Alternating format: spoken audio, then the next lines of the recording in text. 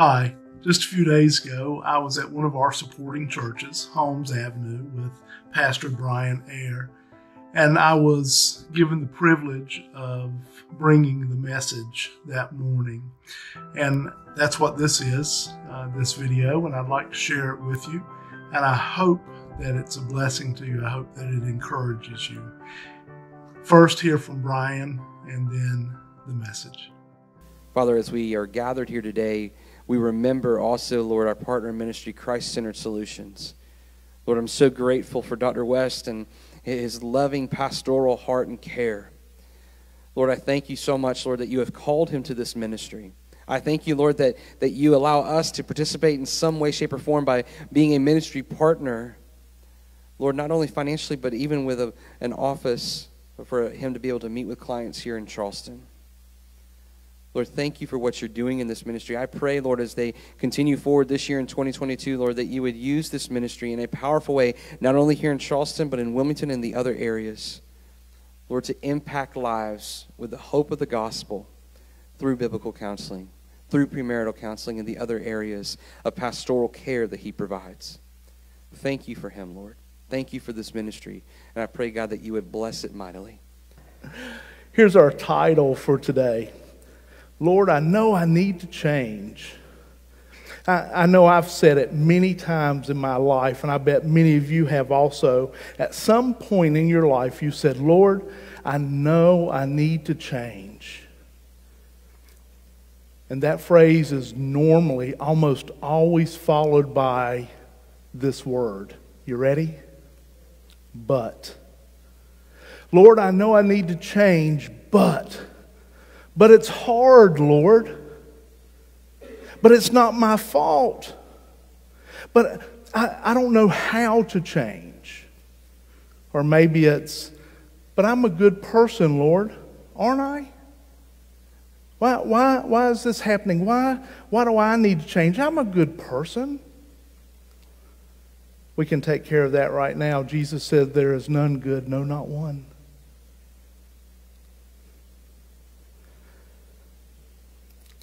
Listen, when we come to the place that we know we need to change, it's normally because of the convicting power of the Holy Spirit that brings us to this conclusion.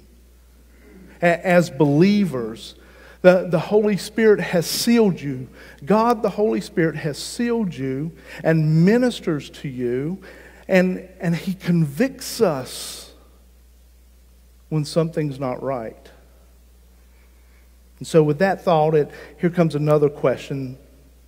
And the question is this once we're aware that God is calling us to change, to change something in our lives, what are we then willing to do? What, what are we willing? What are we willing to do in order to make that change? Do we do something or do nothing? Do we make an excuse or take an action. In our text today, Isaiah has reached that point in his life where he knows, he has become aware that he needs to change. But the, the people I see on a regular basis and the couples that I see, the vast majority of them come through the doors here and in Wilmington and Hampstead, North Carolina, and in Wendell, North Carolina because they know something's not right and they need to change. I don't like something. I don't like the way I feel. I don't like the way I see certain things. I don't like this perspective. I don't like my life the way it is right now. Lord, I know I need to change. So, what do you do? For Isaiah, it was Am I going to be inactive and ignore the truth and do nothing? And that's, that was simply an, not an option for Isaiah. It shouldn't be an option for us. Isaiah had reached a state of brokenness in which there was a point of no return. He was driven to his knees, so to speak, and probably literally as well. Several years ago, I was dealing with a young man who stated to another pastor and myself that he knew that the place where he was in life was not pleasing to God. He said he was a believer. Matter of fact, he stated that he was far from God's will. And, and as we talked with him, we could tell that he was just eaten up with guilt and shame and this, just this overwhelming burden on his life. Yet he was seemingly unable to move beyond his circumstances. He stated that he couldn't help the way that he felt. And you know what? I, I believe him. I, I, I believe these were his feelings. Our feelings are our feelings, they, they don't belong to anybody else. Feelings happen. But, but I want to clarify something here, and that is feelings and thoughts are two different things. But yet we often use them interchangeably. I, I can't help the way I feel, but I can do something about the way I think. When you read the letters of Paul, when, when you listen to some of the things and read what Jesus said, what you come to is this conclusion that when he's talking about the heart, he's talking about the way you think. Christianity is very much, and you may have heard me say this before, Christianity is very much a thinking religion, yet we try to make it a feeling one. He calls us to think. This young man went on to say that day that he couldn't help or stop the sinful things that he was doing, even though he knew his actions and behaviors were wrong. At that moment, I knew that it wasn't that he couldn't change, but that he believed in one part that he was powerless to change. But it's more than that. It was more than just him thinking that he was powerless, it was also that he didn't want to change. It's easier to wallow in our self pity. It's easier to wallow in the muck and the mire. Change is difficult. If you're sitting here today or you're watching online and you claim to be a believer of Jesus Christ, a follower of Christ, He did not call you to a life of ease on this earth for all those who preach a prosperity gospel, saying that um, God wants you to be rich and healthy and all these other things. My question is then, why did Jesus have to die the type of death that he did? Why did the apostles suffer as they did? Why were Christians throughout history and still today, why are they martyred for their faith? Is it because they have sinned and they're not listening to God? Or is it because the world hates them?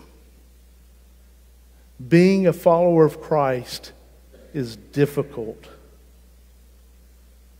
Not every day, but a lot of days.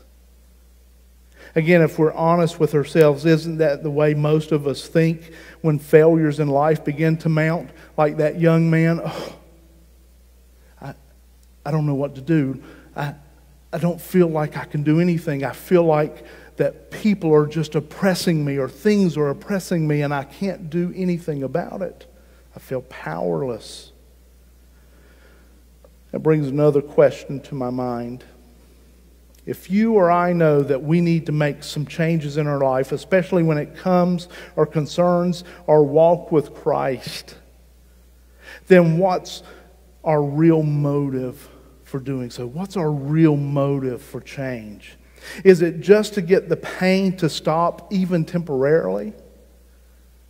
Is it, okay, Lord, I'll do this, I'll do this, and things get a little better, and you go, and you kind of slide back into that old way?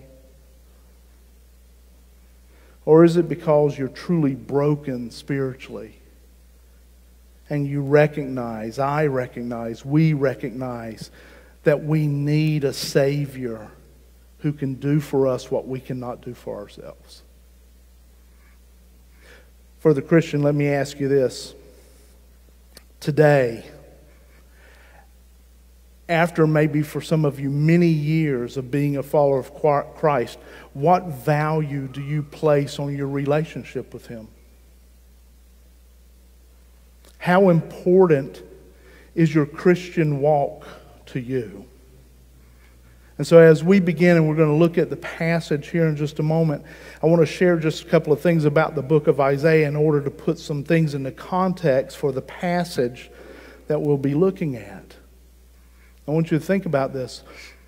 This book, 66 chapters, written 700, maybe a little more, years before Christ has some of the greatest chapters of prophecy in it concerning Christ, Isaiah 53 coming to mind. Down to the very point where he'll be buried. The book is overwhelming.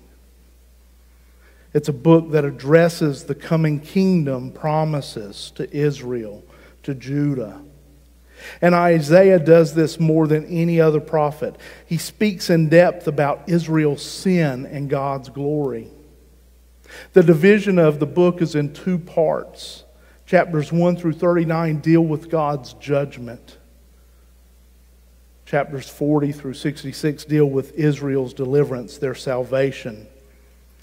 And so, judgment, what we see in this is that judgment comes before blessings.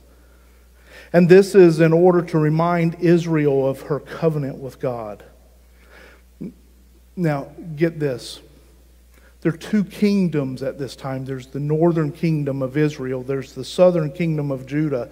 Isaiah is primarily a prophet to Judah, but Judah is seeing what is happening to the tribes in the northern kingdom, the ten tribes there. Assyria is going to sweep in around 723, 721 BC. And they're going to swallow Israel because of their sin, their religious syncretism, blending the truth of God's word with all these other false idols and things. Assyria is going to come in and it's just going to swallow them up and take them into captivity. It's going to leave the land barren. Judah, on the other hand, they're a little more than a hundred years behind Israel. Isaiah is preaching his heart out.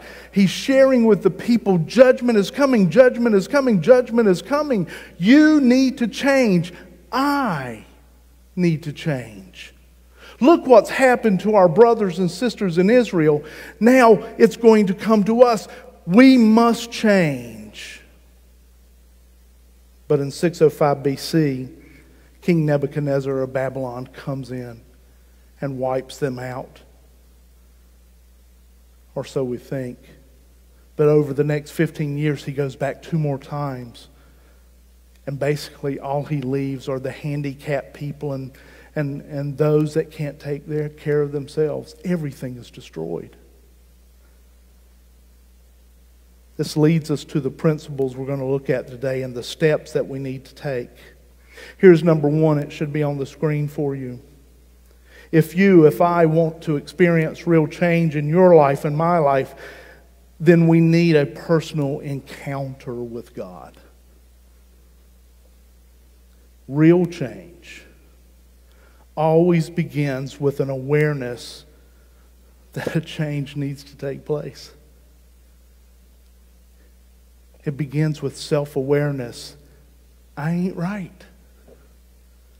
Something's wrong with me. It's where we stop blaming others. It's your fault, your fault, your fault. It's me. I can't change you. The only person I can work on is myself. Genuine change starts at the throne of God. Re- remember Newton's first law? A body at rest will remain at rest unless an action takes place, unless it is forced and uh, an act takes place upon it. And a body in motion at a constant velocity or speed will continue or remain in motion unless it is acted upon by another force. You know, you see that. You, sometimes there are little desk things and they've got those silver balls and you hit one, right? You're the force. And it will continue. That energy is transferring until you stop it. Listen to this. Here, here's the spiritual part of it, and it's not on the screen, but you can go ahead and put the, ne- the passage up if you'd like. But this comes from John chapter 1 and chapter 6. Jesus says, But to all who did receive him, who believed in his name, he gave the right to become children of God, who were born not of blood, nor of the will of the flesh, nor of the will of man, but of God. God acted. When God acted in your life, if you're a believer here today, you didn't come to him just because you wanted to come to him. Listen to this. No one can come to me unless the Father who sent me draws him, and I will raise him up on the last days. That's Jesus speaking. Unless God acts, nothing changes. But when you become self aware I need something. God is ministering to you. The Holy Spirit is speaking to you in a sense. He's moving upon you. You need to change. It becomes like a megaphone. That's what C.S. Lewis said pain is the megaphone that gets our attention. God is the activating force for change in a person's life. Look at this, what Isaiah says in 6 1 through 4. In the year of King Uzziah's death, I saw the Lord sitting on a throne, lofty and exalted, with the train of his robe filling the temple. Seraphim stood above him, each having six wings. With two he covered his face, and with two he covered his feet, and with two he flew. And, and I just want to side note here the difference between cherubs and seraphim. And the cherubs aren't these cute little babies with wings. They're warriors. The seraphim, these are the attendants in the throne room of God. And notice what they're doing. And one called out to another and said, Holy, holy, holy is the Lord of hosts. The whole earth is full of his glory. And that's true. You know how I know that's true? Well, one, I see it in the common graces that God has blessed us with. Uh, I'll give you a common grace fried chicken and greens, that's common grace. What's some other common grace? When you go out at night out of the city and you look up into the, the, the stars and it's a clear night and you see all these stars in, the, in the skies. That's a common grace. That's, that's the, uh, the natural revelation that there must be a God, there's something greater than ourselves.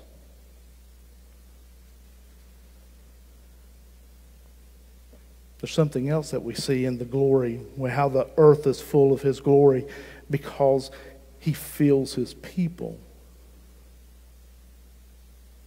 The world should, should see God in you and through you, and in me and through me. Notice what he says again verse 4. And the foundations of the thresholds trembled at the voice of him who called out while the temple was filling with smoke. Again, notice his words, I saw the Lord. Isaiah is somehow transported or taken be it in a vision or, or some other way, he's taken into the, the heavenly tabernacle, the throne room of God, the actual tabernacle, the ones that were built in Israel and the one that is still to be built are just models of the real one. He goes into the throne room of God, and this is around 739 BC.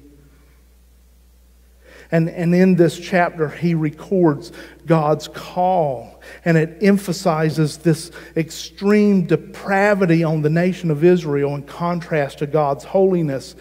Uh, let me tell you, when we come to the point that we know that we need to change, it's because we are standing in the presence of God and we recognize His holiness, His sovereignty, His greatness, His awesomeness, and how filthy we are.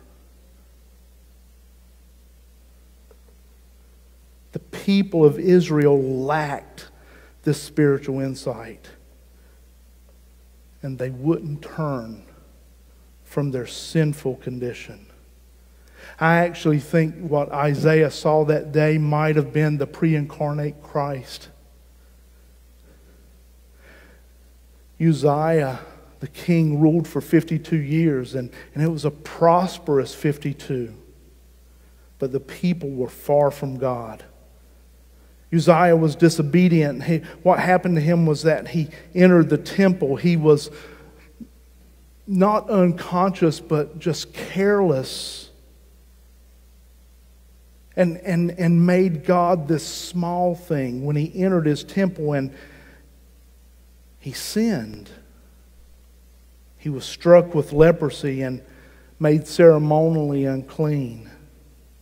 Isaiah, however, is now sensitive to this sin for himself and for his people.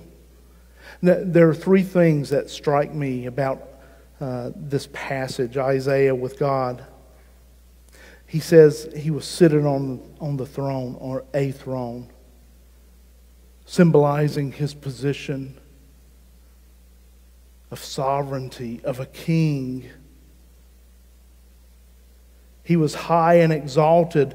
And it speaks of his long robe and, and the, this majesty about God, his royalty, and the train of his robe filled the temple. It was it was all encompassing. You couldn't escape it.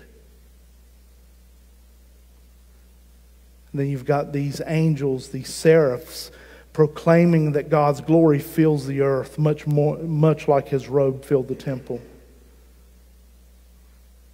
These angels were burning with passion for God, and, and that's what we should do.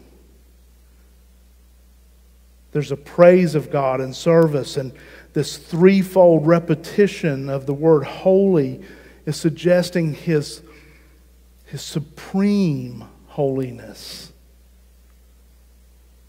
And by contrast, the people of Judah were unholy, like the people of Israel. Here's number two. If you want to experience real change, if I want to experience real change, then take a long look at yourself and reassess your life. Take an account. Look at where you are today. Look at your relationships your relationship with your spouse, your girlfriend, your boyfriend, your parents, with your church, with the Christian community, with the secular community. Listen, we all change. If you live long enough, you're going to change. I, I tell people when I look at myself and I go, ugh, I remind myself that there's an athlete in this body somewhere. I just haven't seen him for a while.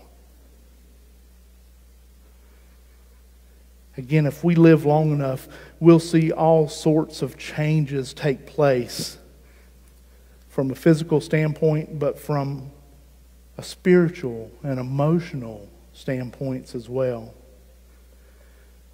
We often change in how we see the world because of our experiences. When, I was 20, 21, 22, Teresa and I hadn't been married long, and, and, and I saw the world in a much different way.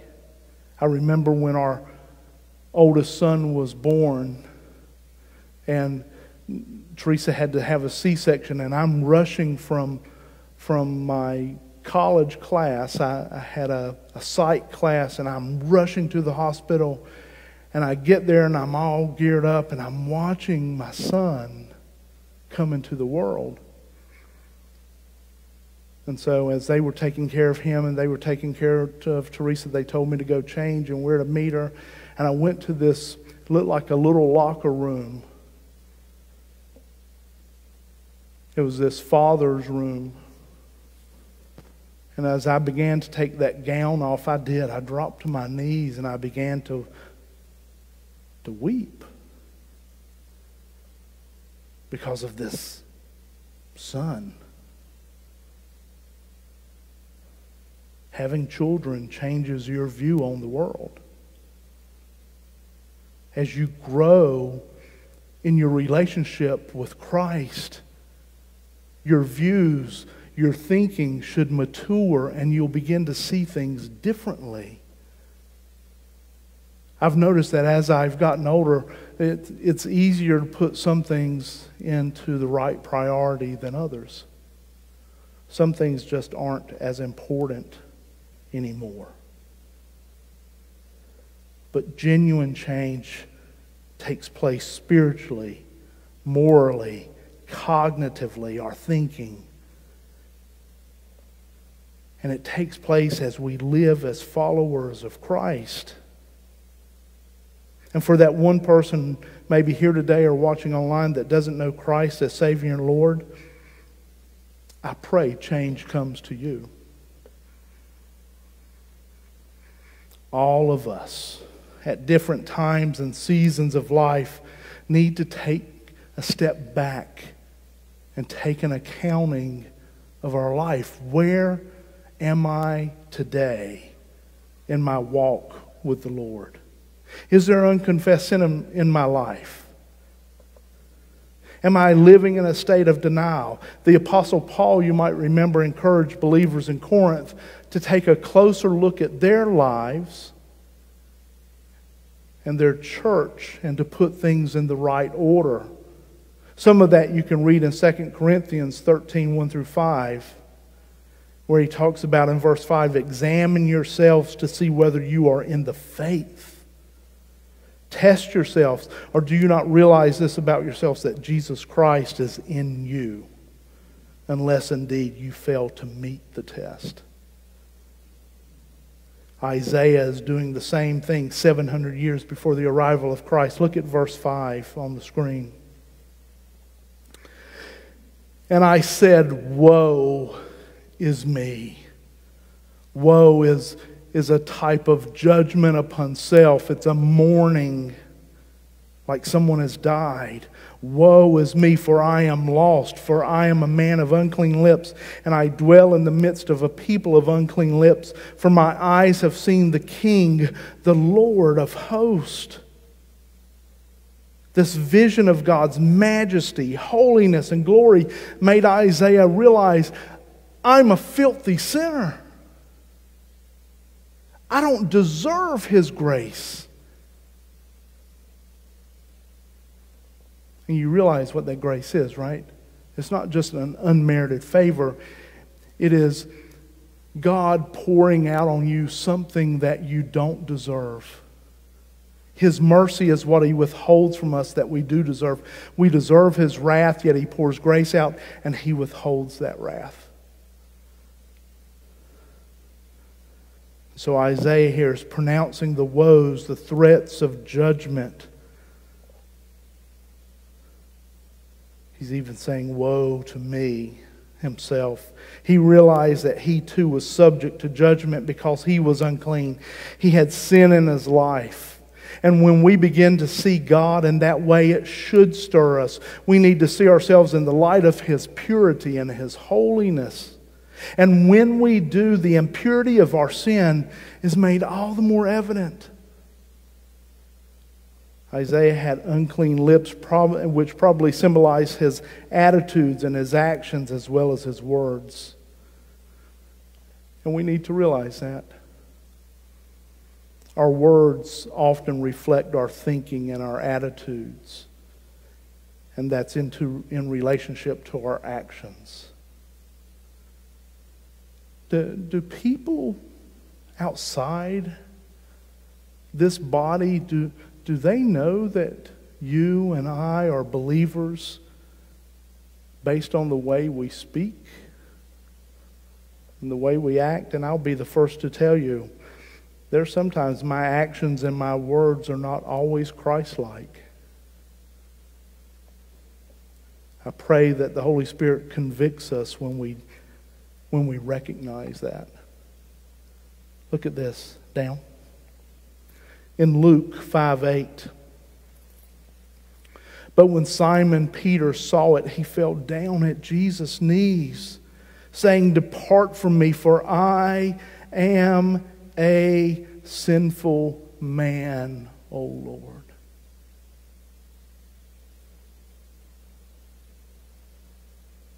Isaiah witnessed firsthand the majesty, the holiness of God, just like Peter did. Isaiah saw it in the throne room of God, and Peter saw it in the life of Christ. when we witness the power of God, it impacts us. It impacted Peter. And, and we too can see the majesty and the power of God every day in His Word and the beauty of His creation. But mostly, we should be able to see it in the salvation that He has imparted to us through His Son. Again, we need to daily take a reassessment, an accounting of our lives. Paul, I'm not going to read it to you, but in Romans chapter 2, 1 through 8, Paul talks about the kindness of God, and he says, Don't you see? As God has poured out his kindness on you and you recognize his holiness, that it should reveal to you what you lack. He is holy and good, and you are not that is, before Christ, before you've trusted Him. God sees you today. If you're a child of God, it doesn't mean that you don't need to continue this change because that's, that's part of the doctrine of sanctification. You're continuously in a state of change, drawing near to Him. But when God the Father looks at us, I, I've said this thousands of times and it still blows me away. He looks at us through the prism of the blood of His Son and He doesn't see us as we were, but He sees us as we are and will be through Christ. God's love makes a difference. Here's number three, and I'm, I'm going to be quick three and four. But number three, if you want to experience real change in your life, then clean up your act. It's, it's pretty simple.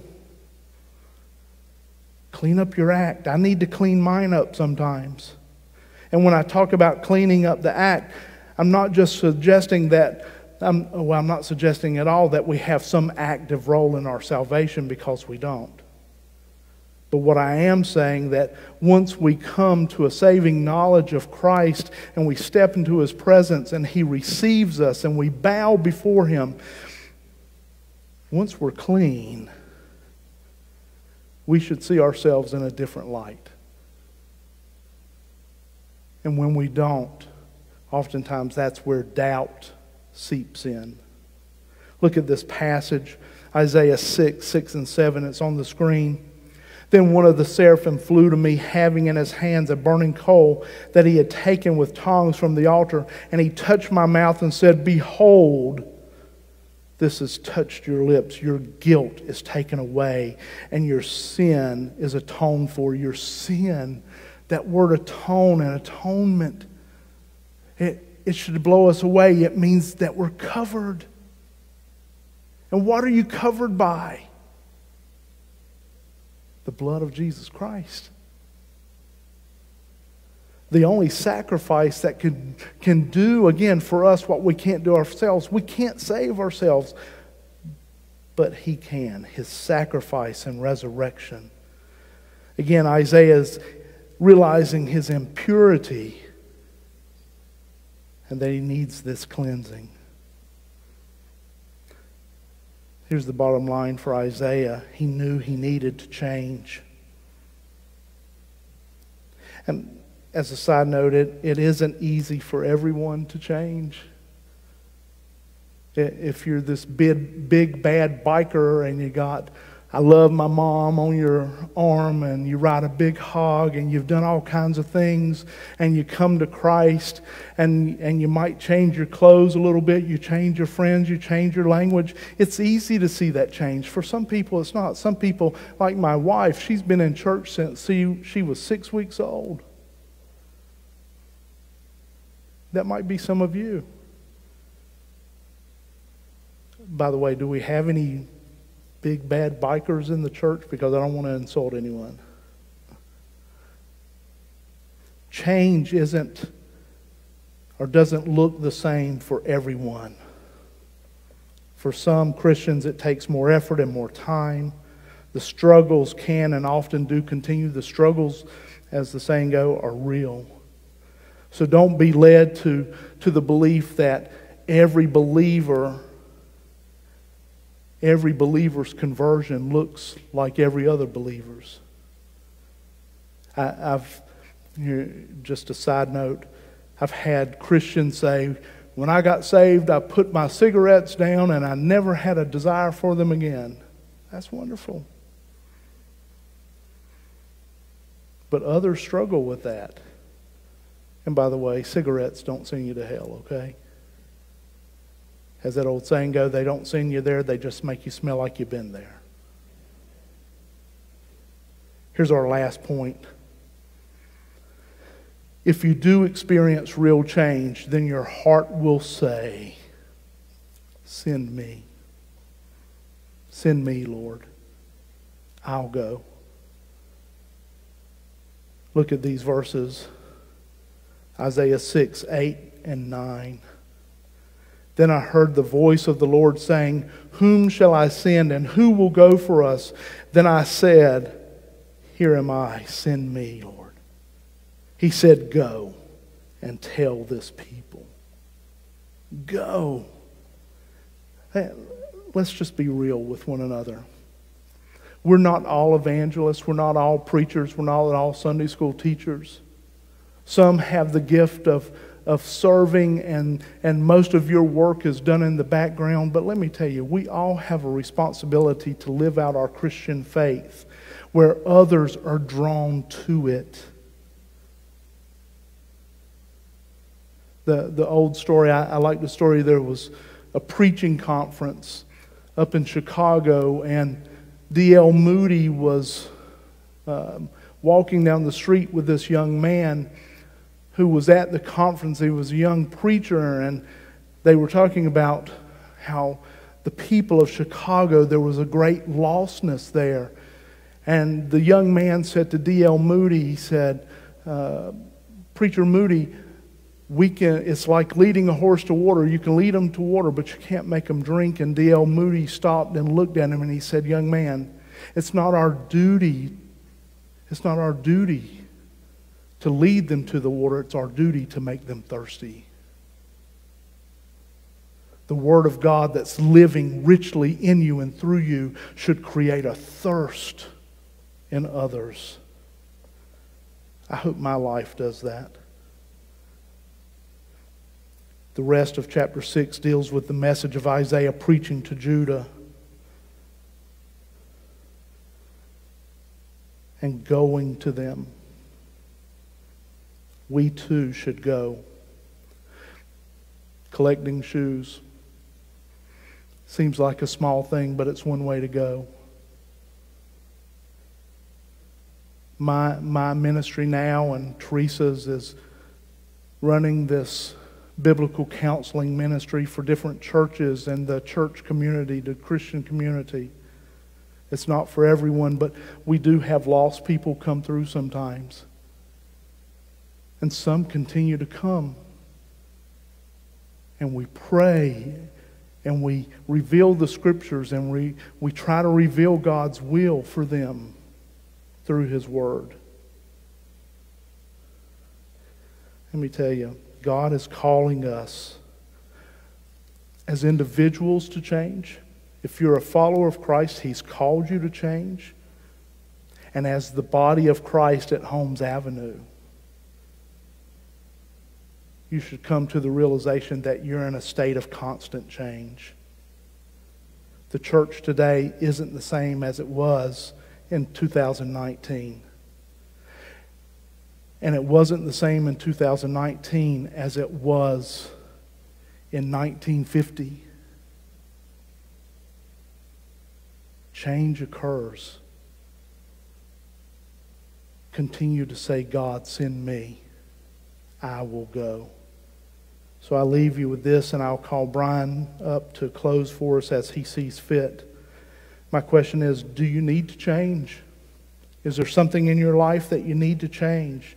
Do you know someone close to you that's trying to change? How can you help them? How will you respond, church, to those around us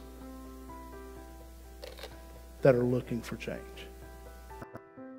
Hey, thanks for sticking around. If you've made it this far, can you give me just one more minute of your time? I realize change is difficult. Um, it seems like my entire life I've been going through a constant series of changes, and that's that's probably true. We are as human beings, and some of it is caused by the events in our life. Some of it is just that we're trying to mature. Uh, like myself, I'm I'm constantly trying to become a better follower of Christ. And that doesn't mean I'm perfect, I'm far from it. Um, but it's a constant work. Listen, again, I realize change is difficult, and if there's some things in your life that are going on that you're struggling with and you need some help, Christ-Centered Solutions is here for you. I want to encourage you to visit our webpage, www.christcenteredsolutions.org and on that page, there are some resources you can read about us, uh, find out more about the ministry, but there's also a contact page. And I would encourage you to uh, click on that page and give us an email or um, just give us a call at either the North Carolina or South Carolina number, and we're here for you. Um, I work with Pastor Dr. Don Cashwell.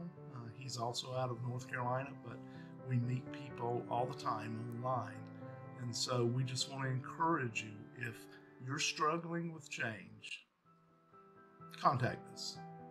We'll do our best to help you and walk with you through it. God bless.